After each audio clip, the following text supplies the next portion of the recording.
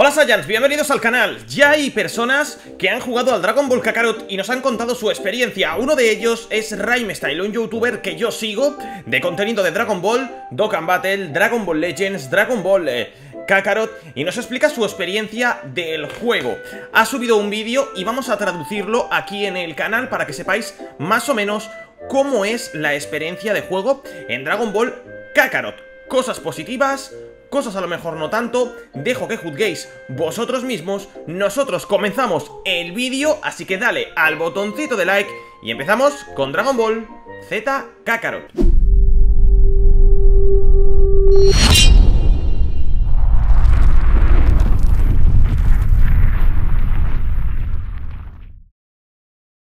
Bien, Saiyans, he decidido antes de nada poner un vídeo de fondo del Dragon Ball Kakarot. Bien, ya os he hablado de Raim Style, ¿vale? Es un youtuber americano que sube vídeos de Dragon Ball Dokkan Battle, un montón de vídeos de, de Dragon Ball y la verdad es que trabaja muchísimo con Namco Bandai y ya ha probado el Dragon Ball Z Kakarot. En este vídeo vamos a hablar sobre ello y vamos a intentar aclarar las dudas sobre la gente que está un poco confundida y dice que el juego no vale mucho o que el juego debería de tener cambios. Antes de nada, lo primero que dice Raim Style, que dejaré el vídeo si me acuerdo en la descripción, lo primero que dice es que esto no es un Dragon Ball Z, eh, no es un Dragon Ball eh, Xenoverse 2, ni es un Dragon Ball Fighter Z, no es un Xenoverse 2, ni es un Fighter Z, y explica claramente que a él le gusta el Dragon Ball Xenoverse 2, también el Fighter Z, pero este juego está pensado para vivir una experiencia de Dragon Ball absoluta, y tiene razón. Su primera impresión al empezar el vídeo es que dice que el Dragon Ball Z Kakarot le ha gustado. Lógico, normal. Bien, vamos a explicar esta parte. Hay mucha gente que dice que porque no tenga online o no tenga cooperativo, el juego es una auténtica mierda. Y la verdad es que no es así no vamos a encontrarnos un juego como el Dragon Ball Xenoverse 2, pero tampoco uno como el Fighter Z. Dragon Ball Xenoverse 2 está muy bien para jugar cooperativo con tus amigos, para hacer misiones secundarias, no es un juego centrado en la historia, es un poquito más abierto, por tanto los controles tampoco para nada son parecidos al Xenoverse 2.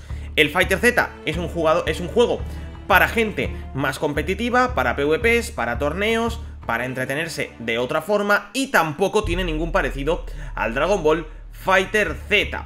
Rime Style nos habla también de los controles de este videojuego. Bien, este videojuego tampoco es como un Tenkaichi, sí que se asemeja muchísimo al Legacy of Goku de la Game Boy. Sacaron unos juegos RPG de la Game Boy Advance, Dragon Ball Legacy of Goku, Dragon Ball Legacy of Goku 2, que ese personalmente cuando era pequeño lo tuve, y Dragon Ball Boost Fury, que este no llegó a Europa, y los controles son muy similares a lo que viene siendo el Legacy of Goku. El B para tirar bolitas, el A para pegar puñetazos y hasta ahí. Tenemos una combinación con botones eh, con habilidades especiales, en este caso Goku podría tener el Kamehameha, Gohan podría tener el Masenko, eh, Granada Infernal podría tener Piccolo o Cañón de Haz especial, pero los controles son muy básicos. No son unos controles que hagan el juego muy toscos, son muy ligeros, por tanto, el sistema de juego y el sistema de combate realmente es bastante bueno, pero sencillo. Es lo que se busca en un RPG. Sistema sencillo, pero bueno, no molesto y que no sea algo engorroso. Eso es lo que nos comenta Raime Style en su vídeo. Dice que a la hora de subir y bajar con el vuelo, sí que es verdad que se lía un poquito, Sí que es verdad que le gusta más el control de vuelo del Dragon Ball Xenoverse, pero los efectos, el paisaje, sobre todo el paisaje dice que es realmente increíble, las animaciones realmente increíbles, que puedas jugar con Gohan, Piccolo, Yamcha, Krilin y Vegeta también es realmente increíble. Y algo que comenta Style también es que eh, puedes ir ganando combos. Puedes ir haciendo combos, ganando algún tipo de combos, pero no os esperéis algo realmente brutal ni realmente increíble en cuanto al sistema de combos. También aclara Raime Style que necesitamos un juego ahí le doy la razón, de historia. Hemos tenido juegos online, hemos tenido juegos online competitivos, pero hacía falta un juego que se centrase en la historia profunda de Dragon Ball. Y este juego no decepciona realmente, para vivir la historia es increíble. Sacan juegos de Dragon Ball cada año. Tocó al Xenoverse 2, tocó al Fighter que personalmente coincido con Raimi Style, la historia no me gustó mucho y ahora le ha tocado al Fighter Z a vivir una experiencia en primera persona, bueno, en primera persona no, para un jugador que creo que puede ser increíble. También habrá Style de que el juego es un juego para jugar una vez, pasárselo y ya está. Cosa que discrepo. ¿Por qué? Porque el Dragon Ball Z Kakarot, nosotros cuando empiece lo pasaremos episodio por episodio y después lo completaremos en directo para todas esas personas que no se ven los episodios. También hay muchas cosas secundarias que hacer como misiones secundarias, como farmeo, que eso a mí me gusta bastante, como la comida y demás. Realmente es increíble. Raimestal también ha hablado de controlar a los personajes, que es algo realmente brutal también, el poder controlar a más de un personaje que no sea Goku. También ha hablado de la historia. La historia trata de Goku, y le resulta realmente extraño que no incluyan la historia de Cell, de Buu, porque claro, también tiene que ver con Goku. De momento tenemos que esperarnos porque no tenemos más información ni nada a, por el estilo. Pero algo que le ha encantado y creo que cuando lo tengáis os va a gustar es sinceramente la banda sonora. Por lo menos en Estados Unidos, la banda sonora de Dragon Ball con el juego de Dragon Ball, con este RPG, lo que hace es que te sientas dentro de la historia de Dragon Ball. Y eso puede ser realmente increíble, realmente brutal. Para mí sería una auténtica pasada poder vivir la banda sonora de Dragon Ball junto al gameplay. Sería realmente brutal.